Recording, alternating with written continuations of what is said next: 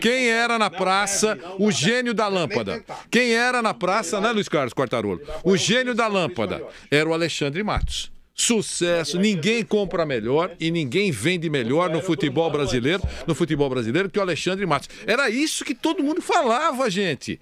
Todo mundo falava. Então, aí o cara chega, assume, assume o clube e diz assim: "Vou trazer o Pelé desse negócio de vender e de contratar". Ele vende por muito e contrata por pouco.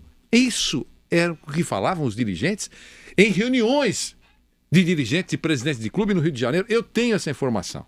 Era, eu, eu, eu falavam para o presidente do, do, do Cruzeiro: o te, a tua mina de ouro é o Alexandre Matos, nego. Você tem ele que consertou tudo. E não sei o que, não sei o que lá. E fez mesmo um bom trabalho lá. Ganhava 80 mil reais lá. Foi oferecido para ele 160. O dobro. Não sei se fechou por isso ou por mais. Eu sei a oferta que foi feita. E o cara saiu de lá e veio para cá, porque ele tinha um, como diria o Flávio Prado lá na Zona Leste, uma cardeneta com jogadores que estavam quase disponíveis, que poderiam ser contratados por um preço bom. Essas coisas todas, que deu certo no, no trabalho anterior que ele fazia.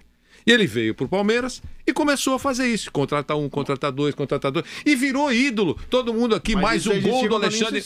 E mais um, mais um gol do Alexandre Matos. Mais uma contratação espetacular. Eu, esse Alexandre Matos é um centroavante goleador. É verdade? Alexandre tu... Mitos. É, Alexandre Mitos. Aí tudo isso. Alexandre Midas. Contratou. E sobre o comercial, Vanderlei, só um que... detalhe. Ele não queria fazer o comercial obrig...